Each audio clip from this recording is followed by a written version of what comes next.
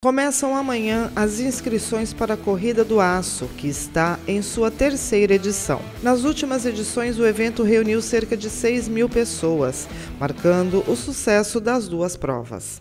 Os percursos serão de 5 e 10 quilômetros e a idade mínima é de 14 anos para os que querem participar dos 5 quilômetros e de 16 anos para o percurso de 10 quilômetros. A prova será no dia 13 de outubro, com largada às 8 horas da manhã no Parque Anilinas, e a retirada dos kits será nos dias 11 e 12 de outubro, também no Parque Anilinas.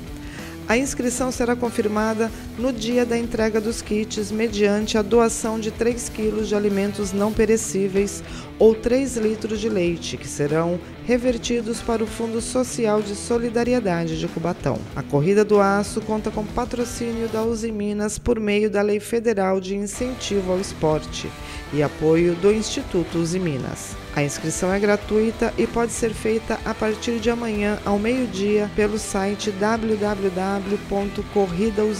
www.corridausiminas.com.br.